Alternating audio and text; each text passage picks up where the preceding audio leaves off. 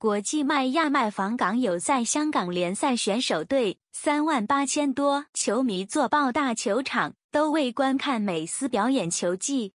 唯美全场只坐在后备席上观看比赛，颁奖礼一纸牌，队尾未有与球迷交流。国际迈亚密教练马天奴自出席赛后记者会，他解释美斯有伤在身，今早队医检查后，对方于下午决定不让他上阵，而并早知他不可上场。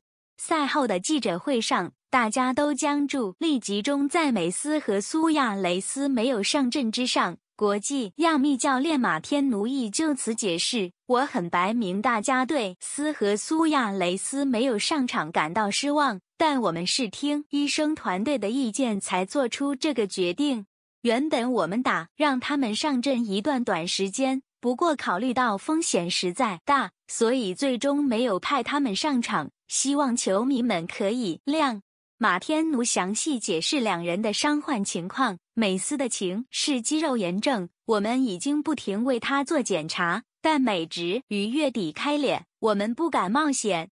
至于苏亚雷斯是膝受伤，他是在之前沙特比赛时碰撞中受伤。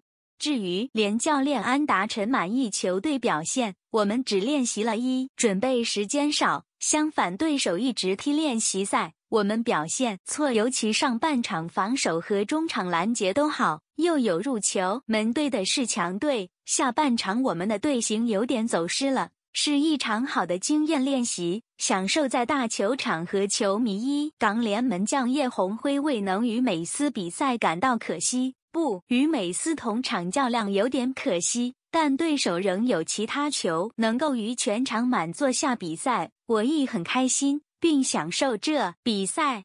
星岛申诉网已推出全新向区区有申诉，并增设我要赞区栏目，现诚邀市民搞赞扬身边好人好事，共建更有爱社区。